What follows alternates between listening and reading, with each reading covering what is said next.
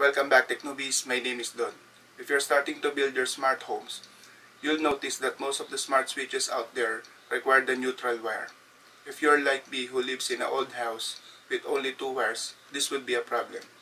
Today we're gonna take a look at the Lasco Smart Switch, a non-neutral smart switch.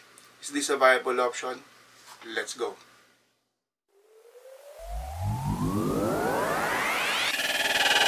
Tech Newbies.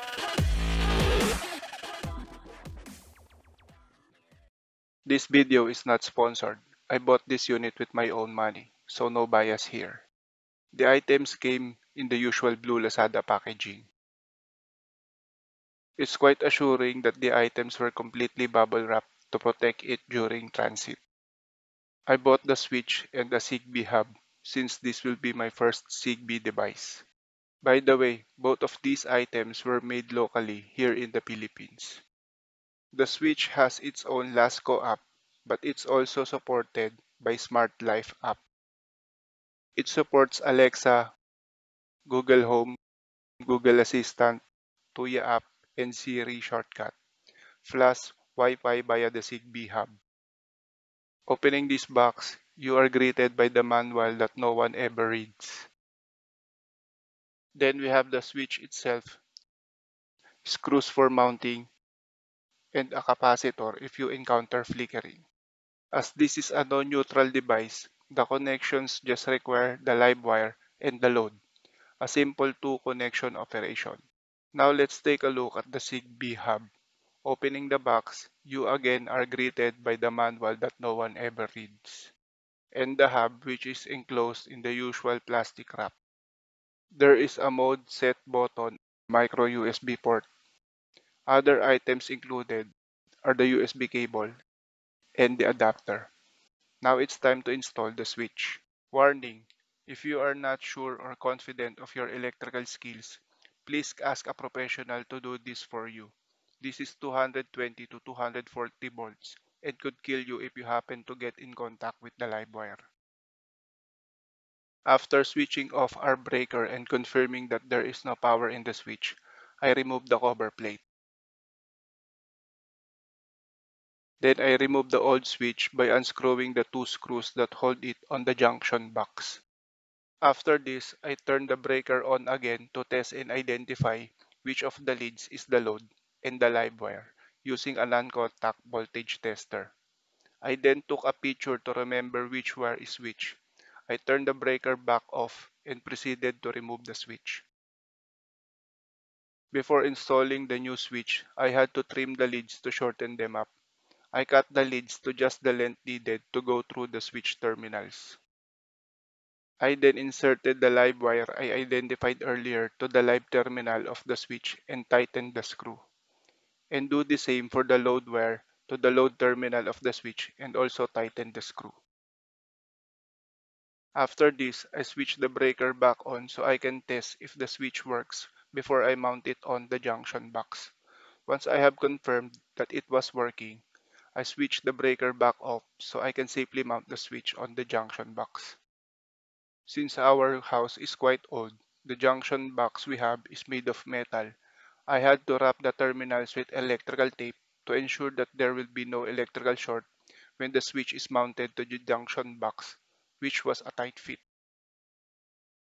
The mounting part was the tricky part. I had to reinsert some of the wire to the tube that holds the junction box so that the switch would fit in the junction box. Then I fixed the switch to the junction box using the provided two screws. After that, I snapped in the cover plate and turned the breaker back on. Now let us set up the Zigbee hub. Plug the hub to the outlet and make sure that it is in pairing mode with the red light blinking fast. If not, press and hold the button for a few seconds to put it in pairing mode. If you haven't done so, download, install, and register to the Smart Life app. Enable Bluetooth and location on your device. Then open the app and click the plus sign on the upper right corner.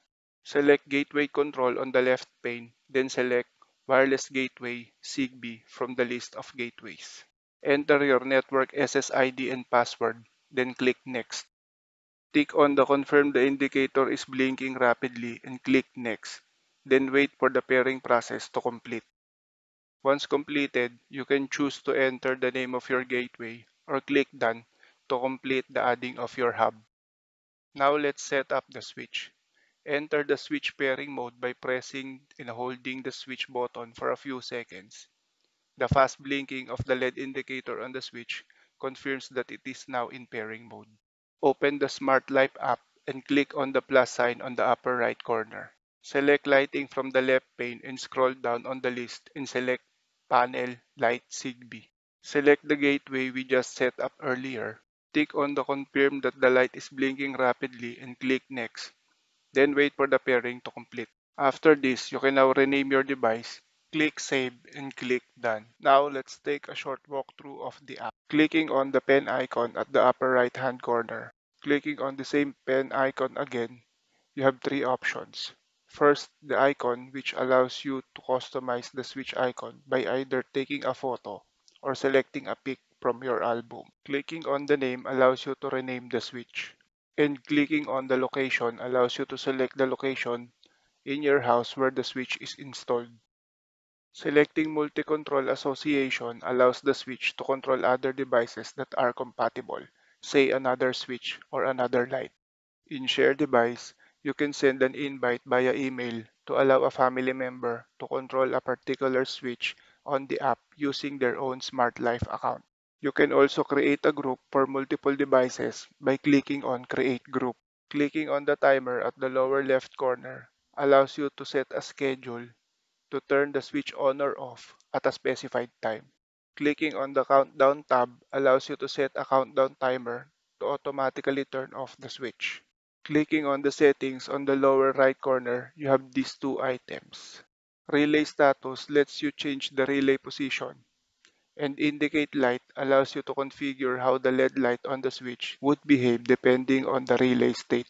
Going back to the included capacitor, you may or may not need to install it depending on what LED bulb you have.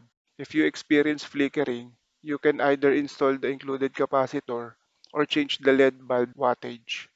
I have tried different wattages of LED bulb to see which wattage wouldn't require the capacitor to be installed. Based on my test, a 9 watt LED bulb does not flicker even without the capacitor installed. Overall, I really like this product. It did what it's supposed to do and gives you a bit of flexibility in automating your home. You can also integrate this with Google Home or Alexa for voice control.